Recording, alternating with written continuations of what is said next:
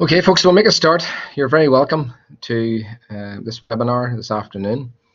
And today the focus is obviously on the PGCE uh, and School of Education, our postgraduate program, and looking at post-primary in particular, although I, I do have some information on primary as well. If there are any questions and you want to pop them in the chat as we go through, uh, we have another presenter on, Maria Davidson is on with me, a colleague of mine. Maria is a course director for the PGC in Home Economics. I am the course director for the PGC in Physical Education, but also currently the PGCE coordinator for the post-primary course. So if you if you want to come on actually just ask questions as it's going on, I, am free to answer them. But if you have something you want to pop in the chat, Maria will do her best to get to answer um, as we go along. Okay, and anything we miss, we can we can wrap it up at the end. So PGC and post-primary. These opening slides are just a number of slides that are generic to the university in terms of obviously trying to encourage you and give you an idea of what it means or the benefits to be studying at UU. Okay, and I'll let you, you can read them for, your, for yourself.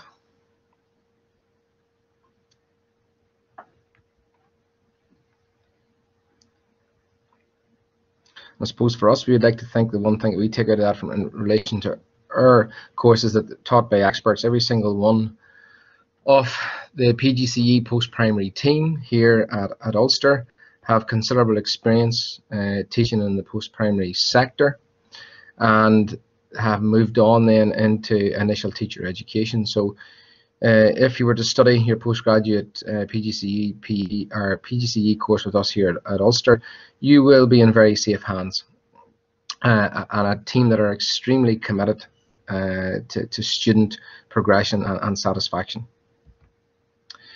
So some quantifiable benefits there, obviously it's just giving you some idea on the stats in terms of, you know, when you get to postgraduate level in terms of the earnings. I will talk more specifically about uh, salary rates and teaching later on in a few number of slides. So that's going to be more specific to you in that context.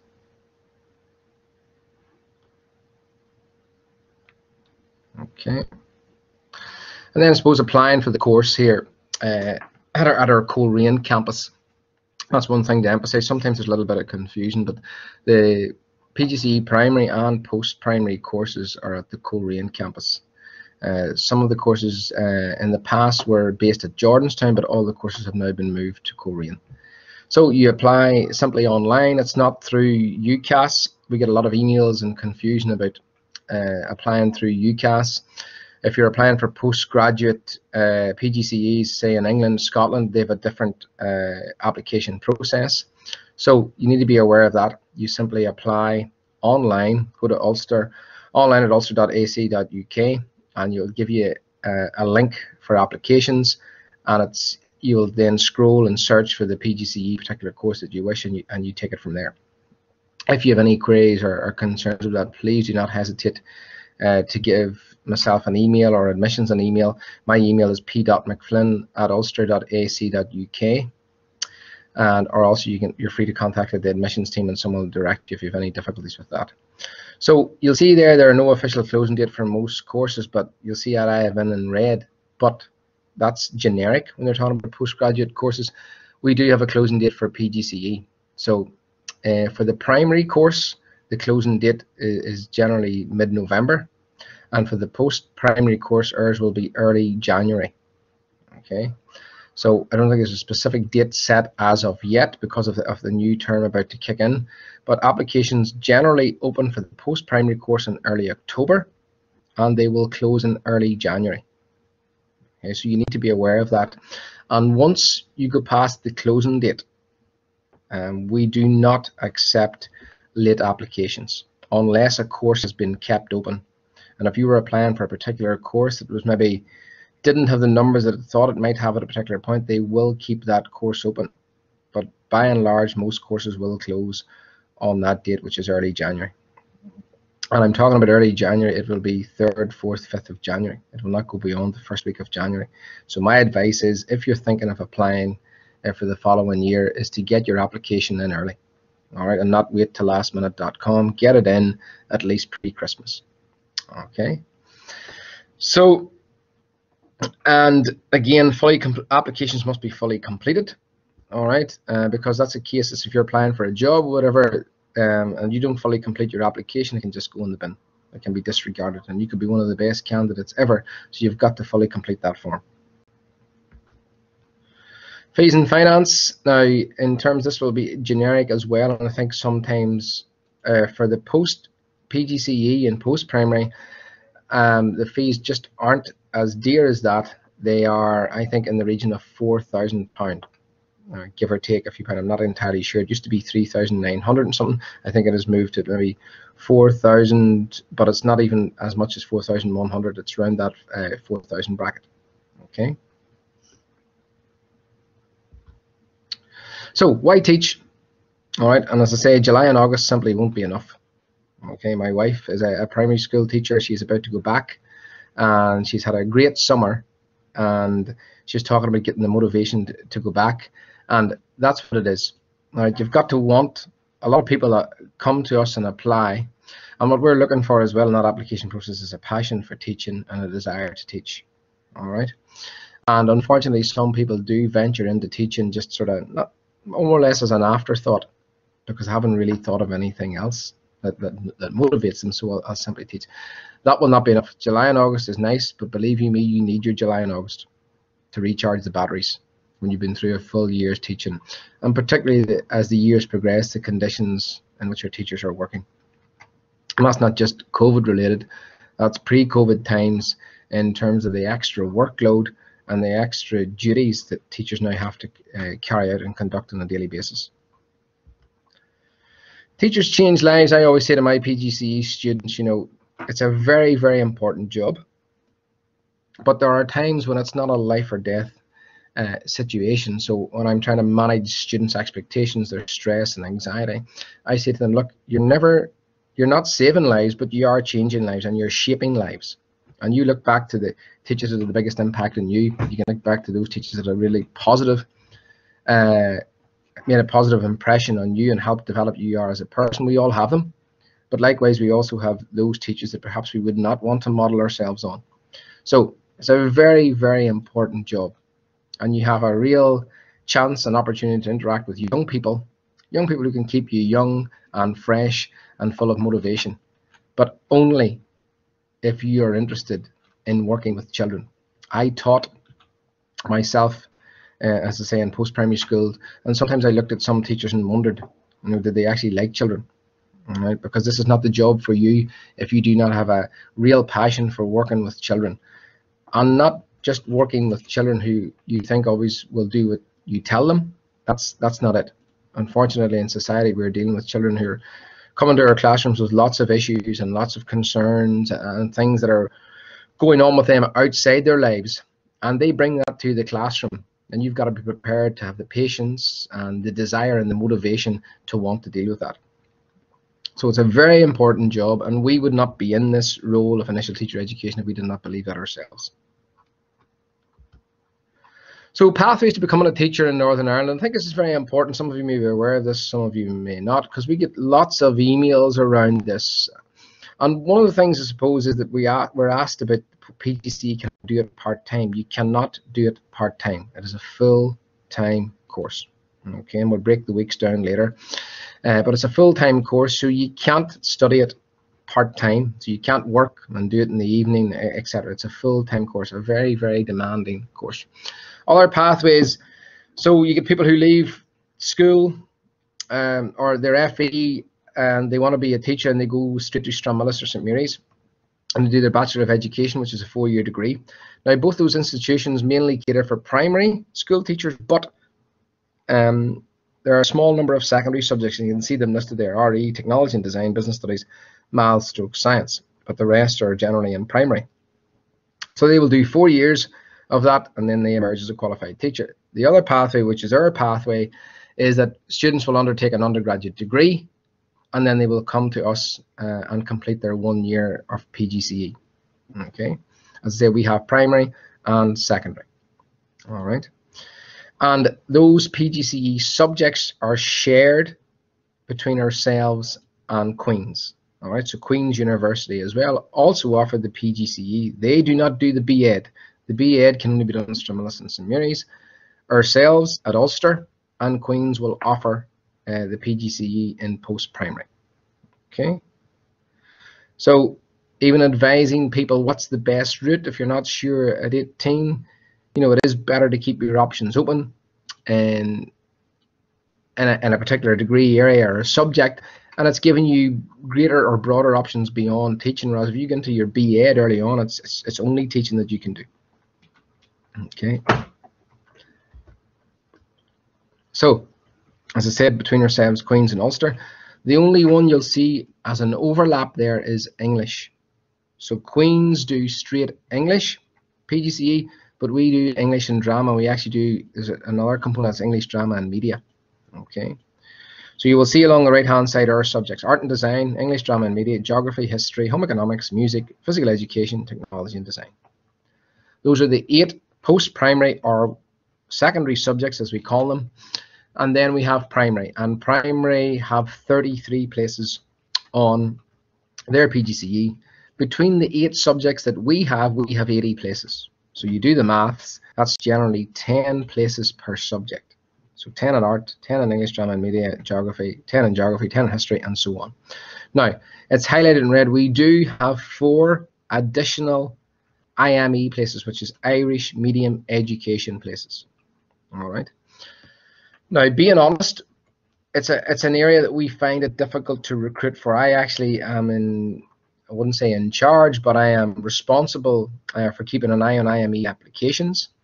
And this year we have recruited two. So it is a difficult, it's difficult to recruit the IME places because to, for IME, you what we're looking for is someone to teach art and design through the medium of Irish, teach English, drama and media through the medium of Irish.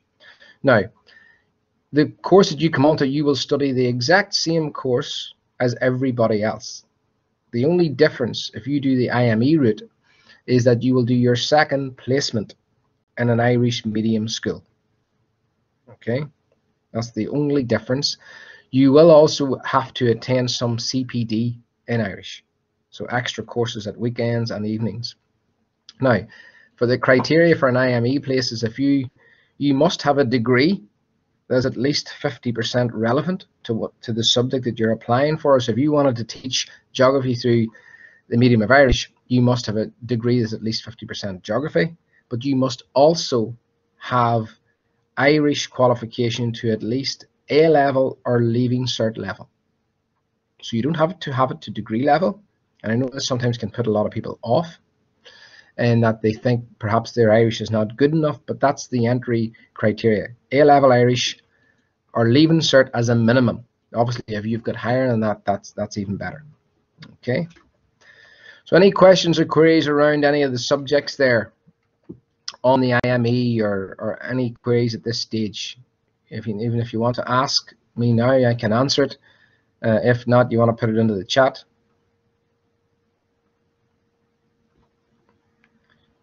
No. Okay, I'll move on. As I say, why am I telling you this now? So if we have some people who are, are, are is that who don't know about the routes and the different subjects, it's important to be aware of what that process is because some people come to us and they say they want to do a, a PGC, but they find out that their degree is not relevant.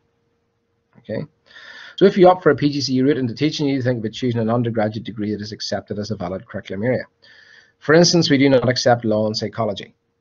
All right. To gain entry to a PGC course, 50% of your degree has to be in the subject you're applying for. For example, if you come out of university with a degree in history and politics, then at least 50% of your degree has to be in history. You would not be considered for a PGCE if your degree comprised 60% politics and 40% history.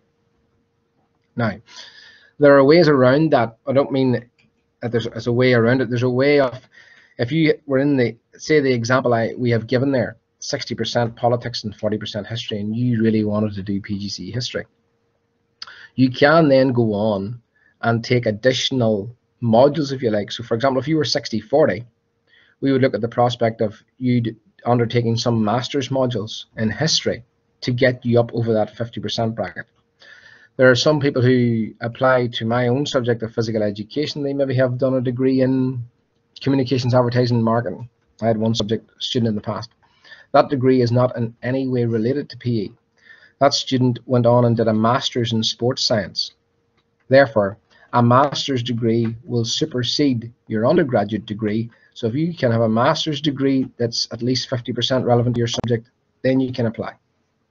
So it doesn't mean that the door is shut in that regard if you find yourself with an undergraduate degree uh, that's not relevant. Okay.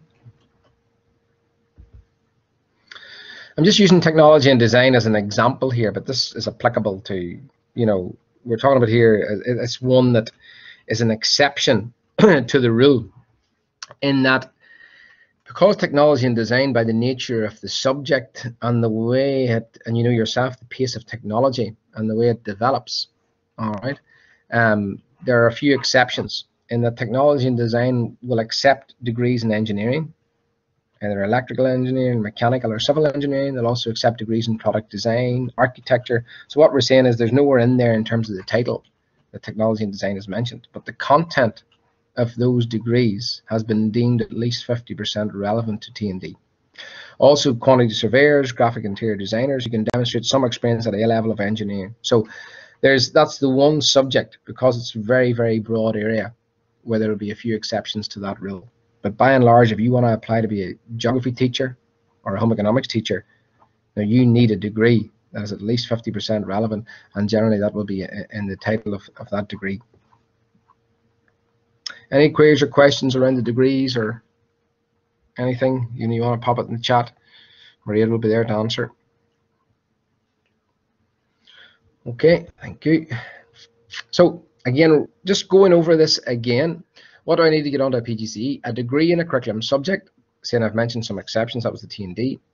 Experience working with young people and educational settings. So you know, we do look for some type of experience that you have shown some type of an interest in working with young people. And, you know, sometimes that doesn't generally, we ideally we want that to be in a school context, but sometimes we realize with your degree and your circumstance that can't happen. Um, so some evidence of having working with young people, could be youth club, it could be, you know, summer schemes, whatever it may be. Um, obviously to enhance your profile and your employability for down the line, we're looking for some people who've got extra beyond the curriculum, uh, the capacity to teach the curriculum. That's where extracurricular activities come in. Sport, music, drama, whatever it may be. It just adds to your profile. For entry to the PGCE, you need GCSE Maths and English for post-primary. But if you're applying for primary, you also need science. So for primary PGCE, you need GCSE English, Maths, and Science. For post-primary, you need maths and English. You don't need GCSE science. Okay. We also want to let you know that equivalent courses such as essential skills 2 are not acceptable because the General Teaching Council for Northern Ireland does not deem them acceptable and that's who you register with once you complete a postgraduate. So if you cannot register with them, you cannot teach in Northern Ireland. So we only accept GCSE grades C and above in maths and English for post-primary, GCSE, Maths, English, Science, grade C and above for primary. So again, going over it, English and Maths, we're talking about post-primary here in particular, grade C. And what we mean by equivalent there now is not essential skills. We mean, for example, if you were applying from Republic of Ireland, for example, they have um, higher courses and ordinary courses. And it would need to be there's levels there in terms of the level you can attain at either higher or ordinary level that equates to English and Maths GCSE. That's what we're talking about in terms of equivalence. It's an honours degree, okay? And in that honours degree, the honours degree at least needs to be a 2-2 or above. So if you apply with a third class honours, you will not be shortlisted. So the degree needs to be at least 2-2 or above. All applicants need to provide evidence of knowledge, interest, and experience. We've talked about that. Two references to support. Generally, one's an academic reference from someone that's you know, lectured you or taught you and your undergraduate degree, and then a character reference. We look for a medical certificate. We look for an access NI check that you are deemed suitable to work with children. So there's a criminal check in that, and then obviously the the interview stage or the processes that we go through. So if you meet, meet all that, on the entry requirements and you have a good application, then you'll get through to the interview stage. Just giving you an example of T and D, but I'll be able to tell you that now the reason why I bring up T and D is because their their course actually lasts 42 weeks. They have started the current uh, cohort of technology and design started their course in mid-July because they have a workshop to do. It's a competency workshop on safety where they would be using lots of machinery and tools, etc. And they must complete that before they start their PGCE. All right. So they are on a 42-week course, whereas the rest of us are on rest of the subjects are on a 36-week course. So once the T&D students complete their six-week course over the summer, then everybody else follows the same program from then on. We start usually end of August, start of September with an induction and residential. Then you have eight weeks um, face-to-face teaching generally, and one of those weeks is in a primary placement. Then you go out to your uh, first school placement, which is non-grammar or secondary school placement, and that generally lasts from end of October to mid or late January, depending on how the weeks fall. Then you're back in university for five weeks face-to-face teaching, and then you're out on your second placement, which is generally in a grammar school or a post-16 school. Okay, that just gives you a breakdown of, and you'll see that it's very intense uh, for the incoming cohort. We've been looking at planning, so they have lectures basically half nine to four Monday, Tuesday, Wednesday, and Thursday, and then most Fridays at the start of the year they're in their first placement school, which we call serial days. So they go in for five Fridays to see their school before they start their placement. So that explains why you cannot do it on a part-time basis. Primary, just going through that again. GCSE passes grade C in English, Maths and Science, an honours degree. What we're identifying here for primary is that they have a priority for students with a 2-1, but students with a 2-2 are welcome to apply. I should emphasize that people with 2-2 do get on the course, but they may enhance the criteria for those with a 2-1. All right, you'll see for them, again, the degree must be appropriate to a primary education subject area, and the subjects are listed, maths, science, geography, history, etc. Okay, so degrees that have at least 50% of study for a primary subject are accepted.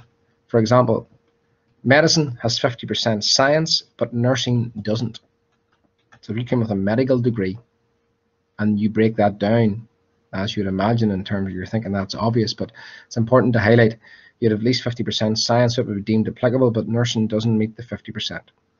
Lately, some applicants have been accepted with degrees in medicine, engineering, architecture, and music technology. The music technology being linked to the music. Architecture been linked to the art. They deemed the uh, content of at least 50% art, and the engineering was science, and as was the medicine. Okay. Again, knowledge interest with uh, children, medical certificate, the rest of that is, the same as I explained for post-primary. It's just giving you an idea um, how close they're linked, but subtle differences there in terms of the primary and post-primary. Teaching in Northern Ireland. So I talked about this earlier on in terms of the pay scale. So on the right there, that was last year. Haven't updated it, but from September past, that's what you'd start uh, start on. If you're in teaching, you'd be starting in twenty four thousand one hundred and thirty seven pounds. You will see that goes up annually till you get up to M6, which is the end of your sixth year, you'd be in 35,000.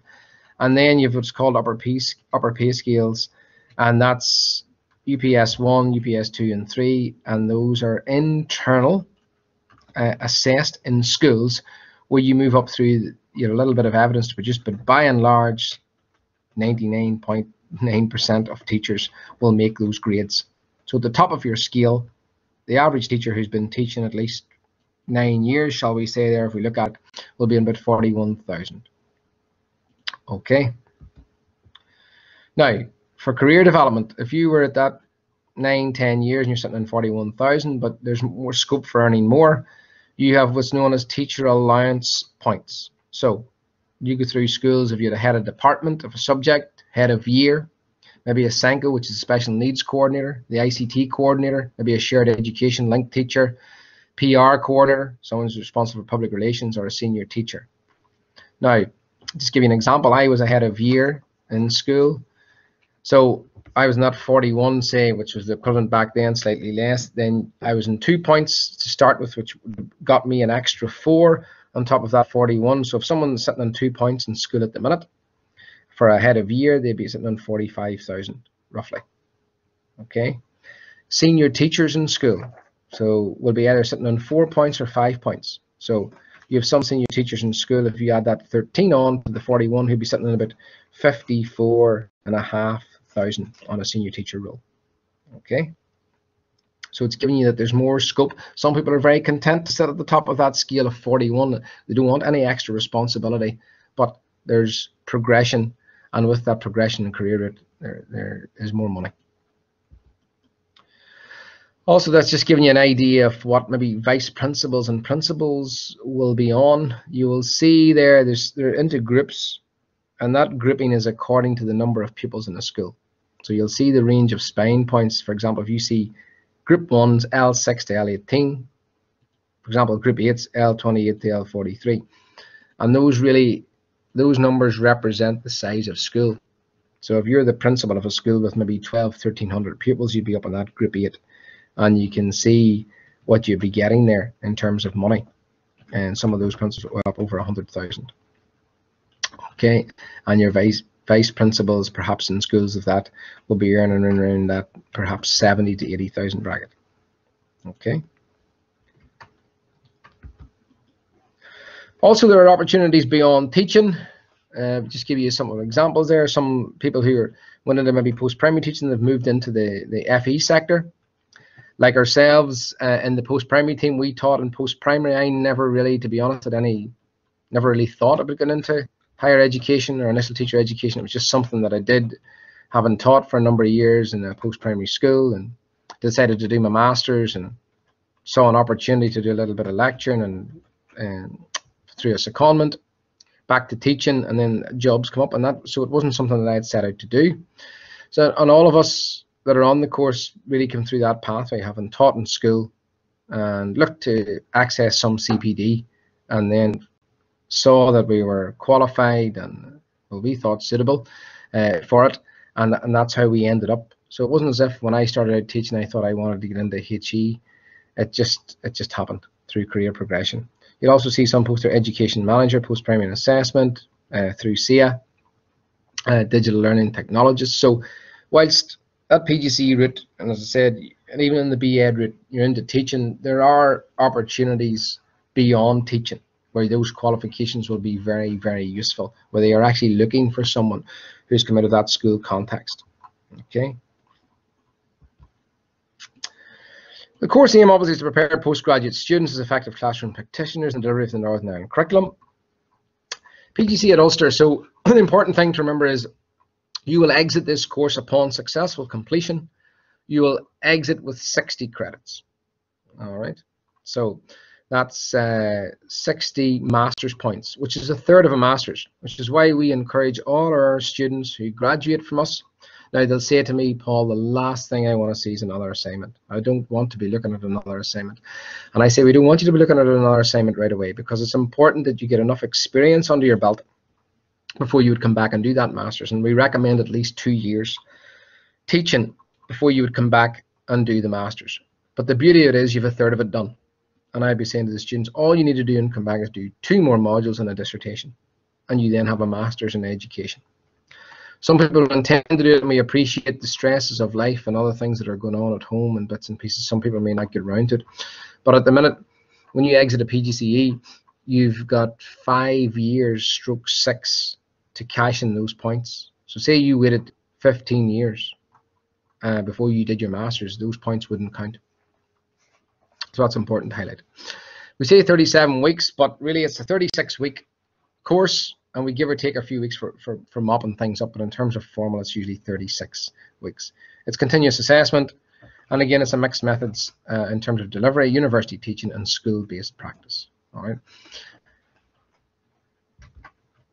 So the course structure, 12 weeks in the School of Education at Coleraine, and now that's broken up between first semester and second semester generally you have about so if I when I that one week observation in a primary school happens in first semester early on. So with that, you have about that week plus about another seven weeks in the university, okay, which makes up the eight weeks of first semester, and then you have another five weeks in the second semester. So our incoming cohort will be starting now with us in early September, and that takes them right up to Halloween. Then they go off in their placement. They're back at the end of January. Then they're in with us for four weeks, five weeks actually, because they get a prep week, and then they're out in their second placement, and they'll finish at the end of May. Okay, so that just gives you the breakdown there of the course. So you'll see really two thirds is spent in uh, schools. So a third spent between the university and two thirds spent in schools. And the beauty of that is you choose schools that are close to home. What we would say is that you're not allowed to choose a school that you attended as a pupil or a school where you have a relative that works in it. Okay or a school that you've already picked up experience and you've been in. It's because we want to try and broaden your experience and expose you to a broader range of experience that's going to help you in your career pathway. So um, that's just some information about that because some people will ask to go to the school they attended, but we do allow you to select those schools that are close to you, obviously for convenience. So two thirds of it you'd be living at home. Most people stay at home and travel anyway.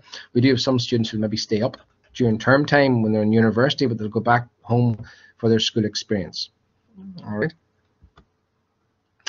So module one, we talked about eight weeks in Coleraine. So induction, two, three day residential, one and a half weeks curriculum-based learning, one week observation in a primary school, and then five weeks comprising of six hours a day. So we'll be starting with our bunch start of September. We'll be doing a two now. It used to be a residential. Pre-COVID times, it was residential. This year, we're not even going for residential we're just going for two days of on-site outdoor activities. And our real focus there is on team building, building a bit of team spirit and togetherness because that's something you will need in the teaching profession. It's not a job you can do on your own. You will need a team of people around you, helping you, supporting you.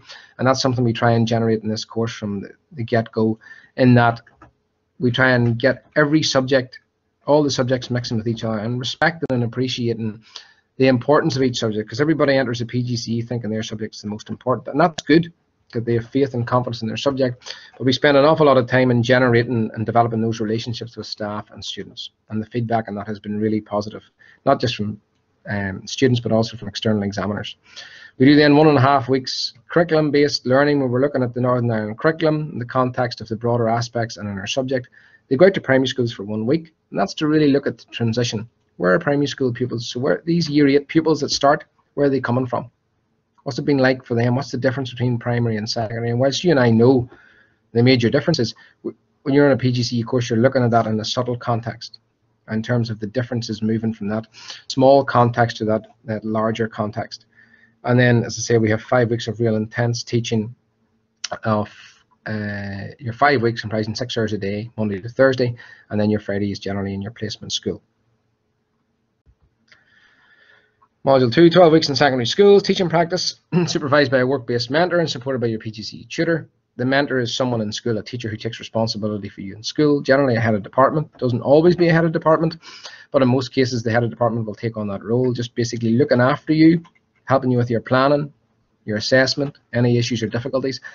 And we as tutors will liaise with that person and you constantly throughout that placement and you teach 50% of a normal teaching timetable. So if you take a teacher's timetable that does have free classes, you will take 50% of that timetable. We expect participation in extracurricular program, and your assessment really a teaching practice file with all your lesson plans and your resources and tutor observations. That's where we come out and observe you, what you teach. Generally, you get two observations in this first placement, and you'll get two observations in your second placement. If you're observed and we felt the lesson just wasn't up to scratch, you will get a follow-up observation. You'll also receive observations by internal staff. So the mentor will carry out some observations as well. Okay. So again, module three, we talked about five weeks university based preparation for grammar school placements. During this, we, we tend to cover a lot of the real theory in that first semester, and we tend to go into the more broader aspects of school context. So we're, we're looking a lot on uh, relationships and sexuality. We're looking a lot at shared education. We give opportunities to students for to pick up sports coaching awards. sort of foundation level coaching to help you with your applications uh, when you're applying for jobs in terms of that extracurricular front.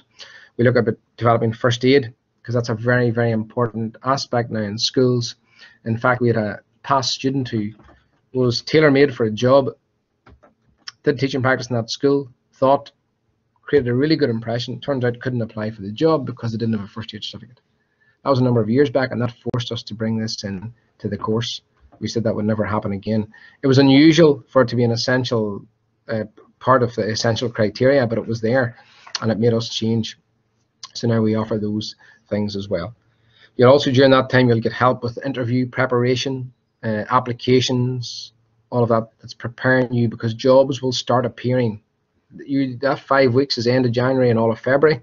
From the start of March, April, that's when jobs start appearing and people start to get anxious and excited about applying for these jobs and we will be there to help with that as well. Module 4 is the 12 weeks in the grammar school. Again, same thing, 50% of a timetable, extracurricular. It's the same way of assessing you. You will do in this module a professional development project, which is a large scale project, 6,000 words. And that is really where you look at an element of the curriculum that you feel you need to develop or something in your own practice that you want to get better at. It could be behavior management, it could be ICT, it could be assessment, and you will conduct um, a professional development project on that, uh, 6,000 words or equivalents. And part of that will be individual presentations, there'll be a lit review, there'll be a personal reflection. There will be an option for people to undertake an SEN placement, which is a special educational needs placement, during the last three weeks of this placement. So if you were opting for the SEN placement, you would do nine weeks in the grammar school, and then you'd go off to the special school and do three weeks there. All right. And we offer that just to, because there's no such thing as a PGCE and SEN, but lots of people who teach in a SEN setting have come from BEd courses or PGCE. So we want to give people the experience. And while some people may never teach in an SEN context, it's very valuable in terms of the tips, in terms of behavior management, in terms of that whole pastoral side of things, and also being able to differentiate the curriculum and meet the needs of all learners. They pick up fabulous learning experiences in there. But then there are a few over the years who've said to me, Paul, this is the place for me. I love teaching, but I love the SEN environment. And they have continued. The school have offered them a job, they've stayed in that sector and still continue to do so there was a job came up PE job there recently. One of my graduates and I contacted him. I said, "Did you see the job in such in a school?" He says, "I did." He said, "But no, I'm not going to go for it. I love out, and he's in a an SEN school." So it's just people who are cut out for it and made for it, but been exposed to that experience. You'll you'll not know. Biggest majority of people come out of it and say, "I loved it. It was great. I learned a lot from it, but it's not for me," and that's fine. But it's giving people that chance. Okay, and we will have visits from external examiners in who generally come from across from England, Scotland, Wales, and they will observe people teach and look at assignments. Travel and accommodation. So look, obviously I think things we are allowed to car share at the minute. I think that's correct. Uh, correct me if I'm wrong, Mairead. But I think we're allowed to car share uh, at the minute the way things have relaxed COVID. But a lot of ones will take the train up. Daily return of £19 some students for this year have been asking me about guest houses. So the thing is, if you look at it, say in your those five week block of teaching that we talk about that real intense week, you could stay a Monday night, a Tuesday night, and a Wednesday night, and you can go home on Thursday because generally you're going to be in your placement school on a on a Friday. So three nights will do you. So therefore, you don't want to be getting tied into six month contracts in the year because the nature of this course doesn't allow that. So there are lots of B&B guest houses here in the port and the Coleraine area. And a lot of them who know the nature of the courses here and they will, you can pay per night or even per week. Okay. Some decide, I'm from Newry, I'm from Enniskillen, I want to stay up around the north coast and they decide to do stay up here. They get a they book and they rent maybe 200 pound a month whatever it may be and they decide to stay the whole year. So they'll actually do their teaching practice in neighboring schools up here in this area as opposed to going back home. But the biggest majority do go back home Interview preparation. So if you're preparing, we talked about the application form. You know, it's important that that's accurate. And if you have any problems, contact admissions or myself. Or if you know the course that you're applying for, so if it's home economics that you're applying for and it's Mairead, you can email the course director. You'll find their details, our details on the on the on the website, and we will help you as best we can. It's too late when the form comes in, and then you're rejected for something, and you say you didn't know. Ask early and do not be afraid to ask. We will hear, we would rather help you get a good application form in and be able to consider your application as opposed to having to dismiss it for something perhaps maybe relatively small.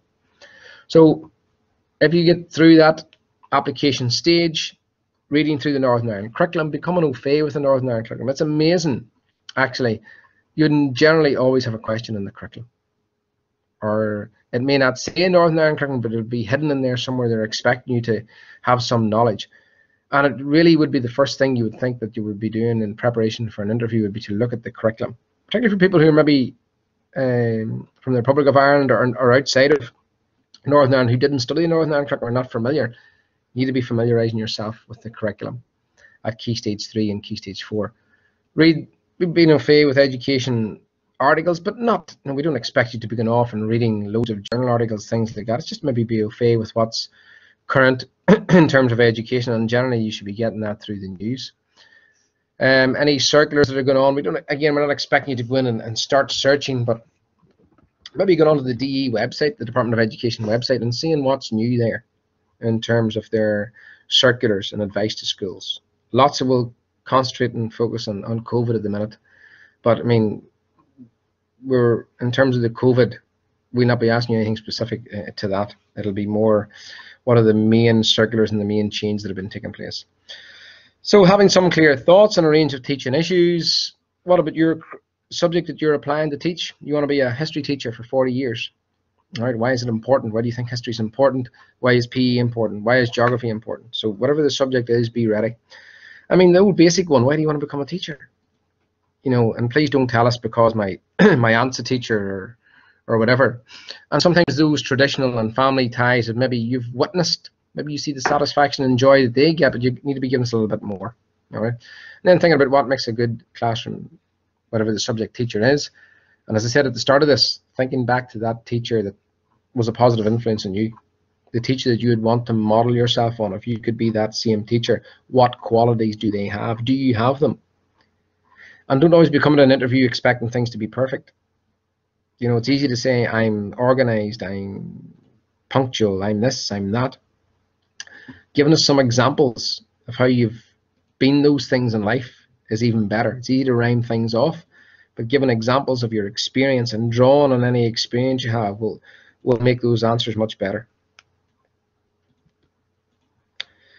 Other courses that we have, some people who don't perhaps get on the PGCE will will offer for the they'll have a we'll invite them maybe to apply for the TESOL course, which is teaching English to speakers of other languages. Some people who've went on and completed the TESOL course, master's level, and then have came back and applied for PGCE and got on it. We also have a course on library and information management at master's level. So this is just general in terms of COVID. We are the university have been extremely uh, supportive uh, of staff and students during the course of the pandemic, and they continue to do so. And we really hope that, which we're planning for this year, but but this starting September, at the minute, the guidance the university are going on is coming from the Northern Ireland Executive, and I'm sure some of you have read that, that they're hoping for a full return to campus and obviously, we're keeping an eye, and the university is keeping an eye on the ongoing public health information and the way things are going with COVID. But at the minute, we were planning for a full return, and there are contingency plans in place should things change. Okay, so you keep an eye if you're interested yourself.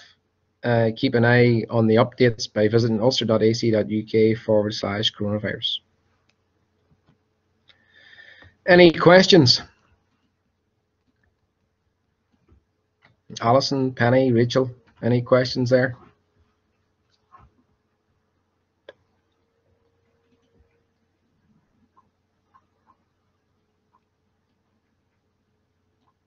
No, no questions. Anything to add, Maria? No? Nope. I think covered everything. Okay.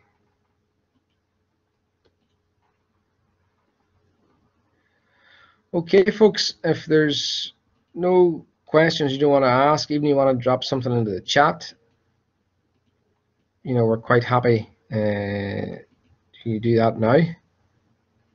If not, don't worry. We hope that you have found that helpful. If uh, you go off this and you think I should have asked that, or you maybe don't want to ask at the minute, um, please contact me. There's my email address, p.mcflynn at ulster.ac.uk, and we'd be more than happy to answer any queries or concerns or give any advice that you may have on this. I want to thank you for taking the time to join in and listen. We hope you've got something out of it. And as I say, please contact us. Even if something really, really small, we'll always be here and we'll get back to you as soon as possible and answer it. Okay.